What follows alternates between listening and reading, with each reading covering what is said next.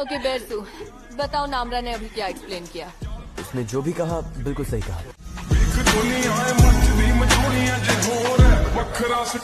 ਇੱਕ